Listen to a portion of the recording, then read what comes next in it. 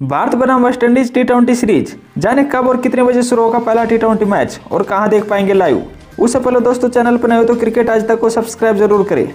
सारी दुनिया पर इस समय क्रिकेट का घुमार छाया हुआ है। आईपीएल में ऑक्शन 2022 पूरा हो चुका है।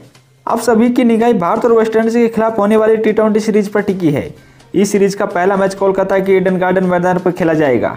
भारत के सुपरस्टार बल्लेबाज के राहुल कोहनी में लगी चोट के कारण वेस्टइंडीज सीरीज़ नहीं खेल पाएँगे। ऐसे में उनकी जगह एक धाकड़ खिलाड़ी ले सकता है। यह प्लेयर रोहित शर्मा का नया ओपनर पार्टनर भी बन सकता है। के राहुल अपनी चोट की वजह से वेस्टइंडीज के खिलाफ टी सीरीज़ के बाहर हो गए हैं। ऐसे में रोहित शर्मा के साथ पहले टी मैच में ईशान किसान ओपनिंग करने उतर सकते हैं। ईशान बहुत ही शानदार फॉर्म में चल रहे हैं। रोहित शर्मा ने पहले वनडे मैच में भी ईशान किशन से ओपनिंग करवाई थी। तब ईशान ने टीम को अच्छी शुरुआत दिलाई थी। वह बहुत ही शानदार लय में नज़र आ रहे हैं। उनके तरकस में हर वो तीर मौजूद है जो विरोधी टीम को ध्वस्त कर सके। ऐसे में कप्तान रोहित शर्मा के साथ नए ओपनर पार्टनर बन सकते हैं। आपको बता दें कि भारत और वेस्टइंडीज के बीच पहला टी ट्वेंटी मैच सोलह फरवरी को खेला जाएगा। यह मैच कोलकाता के ईडन गार्डन मैदान पर खेला जाएगा। कितने बजे शुरू होगा मैच? भारत और वेस्टइंडीज के बीच पहला टी ट्वेंटी मैच शाम साढ़े सात बजे से शुरू होगा। कहाँ देख पाएँगे लाइव मैच? भारत और वेस्टइंडीज के बीच पहले टी ट्वेंटी मैच को लाइव आप स्टार स्पोर्ट नेटवर्क पर देख पाएँगे।